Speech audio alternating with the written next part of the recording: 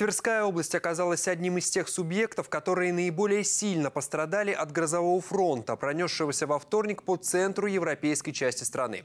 По данным регионального управления МЧС, самые большие проблемы стихия принесла в Андреаполь и Осташковский городской округ. Скорость шквала достигала 25 метров в секунду. Через Андреаполь пронесся торнадо второй категории с порывами ветра в 50 метров в секунду.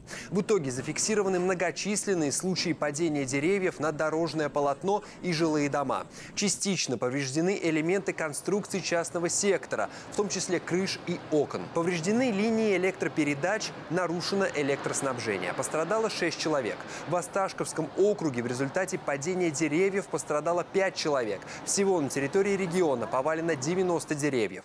Губернатор Игорь Руденя возглавил комиссию по ликвидации последствий стихии, в состав которой вошло руководство Главного управления МЧС России по Тверской области, профильные министры и руководители ведомств региона. Жители, которые пострадали в ходе прохождения грозового фронта, обеспечены всем необходимым. Группировка сил и средств МЧС России оказывает на месте адресную помощь населению, в том числе по распилу упавших деревьев, разбору разрушенных конструкций, деблокированию транспортных средств. Всего к ликвидации последствий привлекается группировка сил и средств территориальной подсистемы РСЧС в количестве 250 человек.